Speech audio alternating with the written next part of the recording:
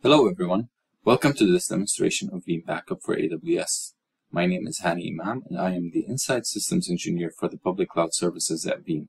In this demonstration, I will be walking you through some of the ways that Veeam Backup for AWS can help you restore your EC2 instances. Now let us walk straight into it to see how we can do this. From the main console, as you can see here, we will navigate to Protected Data subtab in the left sidebar.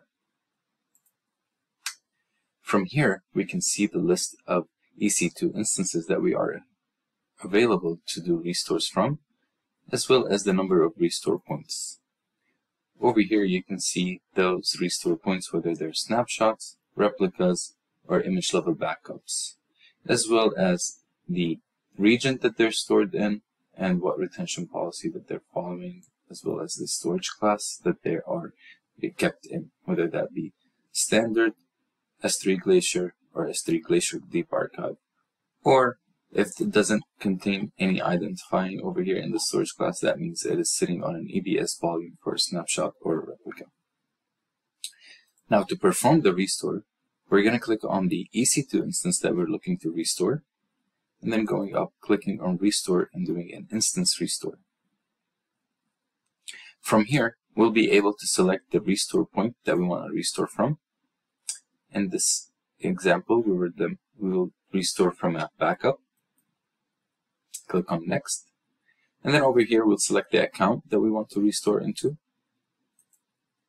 From here, we have two options, either to restore back to the original location and overwrite the existing EC2 instance if it still is there, or restoring to a new location or different with different settings um, in case we wanted to restore back to the original location, but we didn't want to overwrite the existing one. So we'll choose the region. We'll go with US West. Next, we will select the encryption scheme, whether we want to keep the original encryption scheme attached to the restored instance or we want to restore it as a new encrypted instance with different encryption keys we will keep the original ones. From here, we'll, we can edit the instance type, going with a different instance size for the restore. We can as well rename it. We'll give it a suffix of restore. Next, we'll be selecting the network that we want the restored instance to be living in, the VPC, the subnet, and the security group.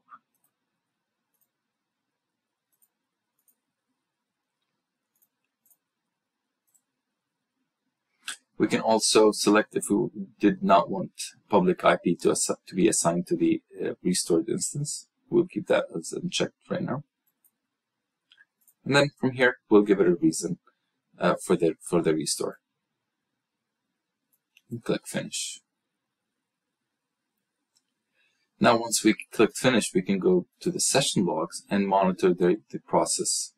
As this process takes a couple minutes, I will pause the video over here and continue once it's done. Alright, so now we can see that this job has finished successfully. Now if we navigate to our AWS console and navigate to the region where we restored the instance, over here we'll be able to see our restored instance with the suffix in a different region. Now let's go back to walk through the next option of doing restores, which are volume level restores. So if you navigate back to protected data, select the instance that we want to do a volume restore of. Click on volume restore. From here, we'll be able to select the restore point again. We'll also go with the image level backup. And as well, if the instance that you're looking to do the volume level restores for has multiple disks attached to it, you'll be able to select the individual disks that you want to restore or restore. We'll leave this as unchecked since this is the one that we want to do the restore of.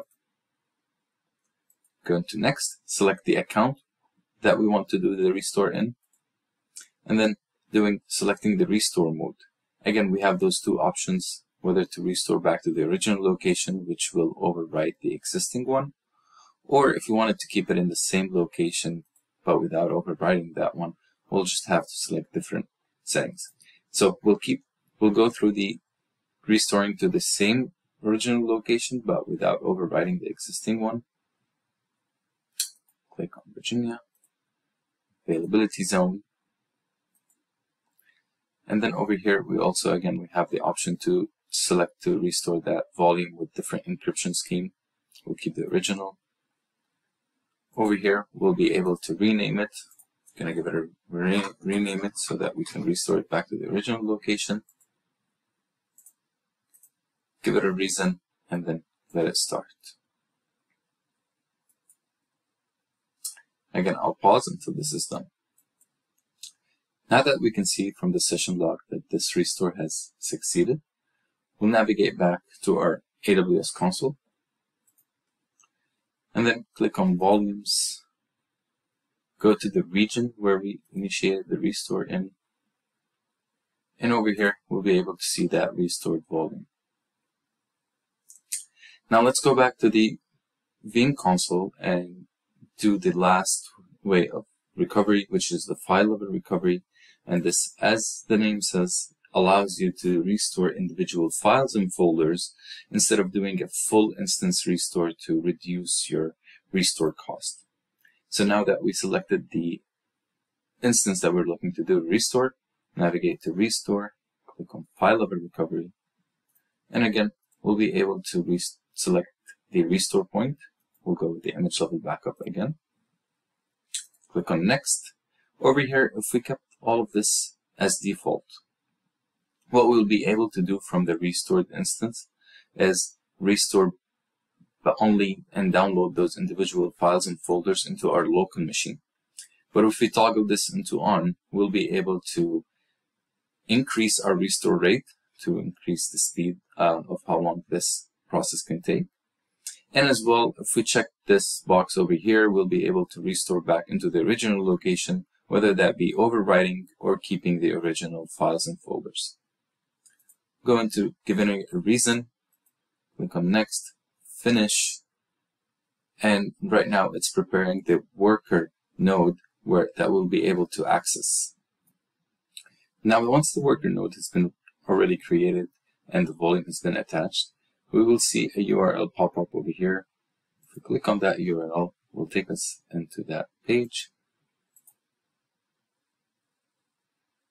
And from here, we'll be able to browse through the different folders that we have on the left-hand side.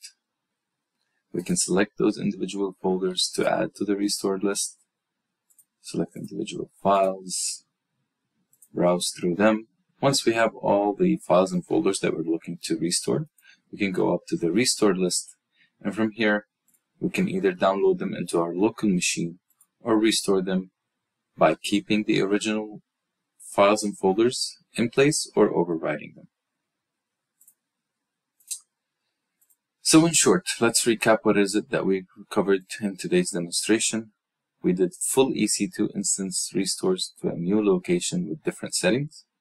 We did restored EBS volumes to the same location with different settings and restored individual files and folders through the file level recovery wizard. I hope you find this demonstration useful and insightful and hope to see you in my next video.